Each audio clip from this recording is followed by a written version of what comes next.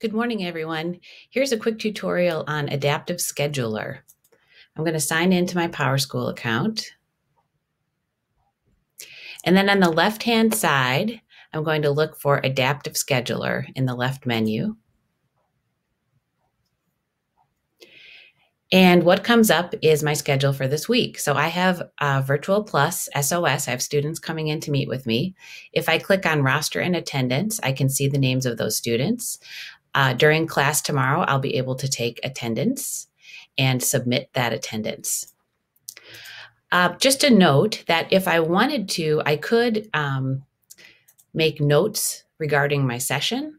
So I could say things like, um, this is for math and science assignments. And then um, students will be able to see this in their um, in their adaptive scheduler view as well.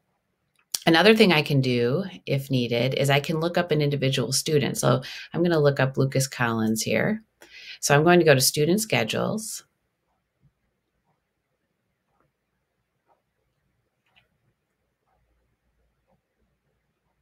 And hope my internet can handle it.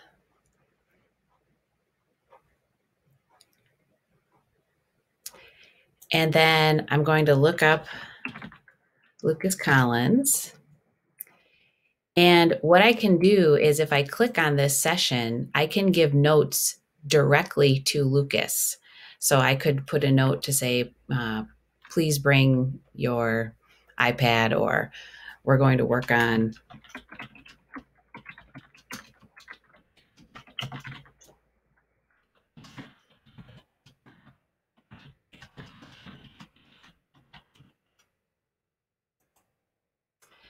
Um, so there are session notes that everyone can see, and then student notes are just directly to the student.